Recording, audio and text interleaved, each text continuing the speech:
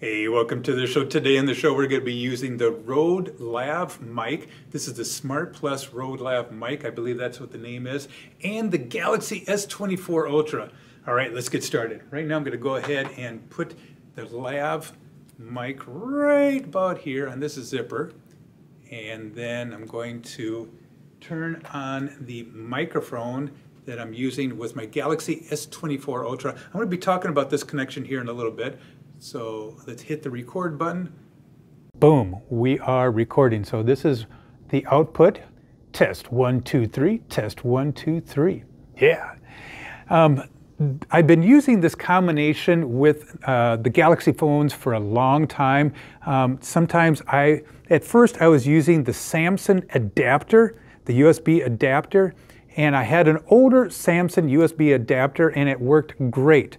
And then a couple years ago, I bought the new Samsung USB adapter and um, in, I'm using Sony Vegas and it just peaked up really high. And um, so it was quite a bit of a difference between the old one and the new one. Um, I bought a bunch of other type of adapters and um, some of them, they sound like they're coming from a tin can. So the one I'm using right now is the Anker and um, I've been pretty happy with it. About two of these. So it's working out great with my uh, phone. So you can see um, test one, two, test one, two.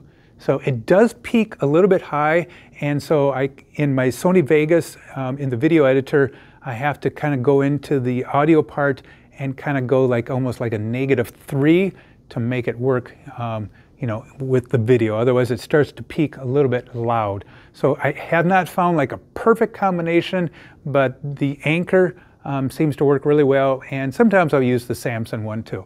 So um, I know some people have had trouble in the past, you know, using the Galaxy uh, S23, 22 Ultras with um, the Smart Lav Plus, but it's kind of a hit or miss, but I've never had any trouble. And uh, if you watch any of my other shows, I'm always using this combination right here.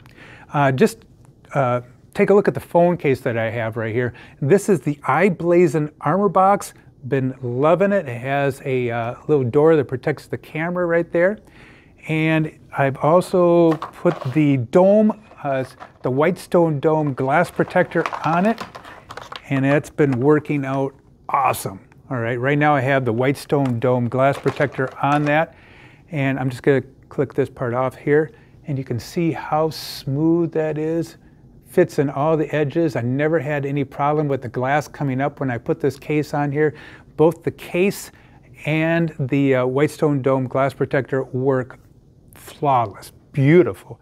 Um, this case does come in different colors. Here's a green one right here. So yeah, I'm liking it. But again, um, check out all my other videos. I have a lot of other uh, channels and I'm using this combination all the time for my audio right here. And um, yeah, happier than a dog with two tails. Um, if you have any questions, leave them down below. Uh, check out the description. I will have a description, a link, an Amazon link for this microphone, for uh, this little uh, USB adapter right here, and uh, this case.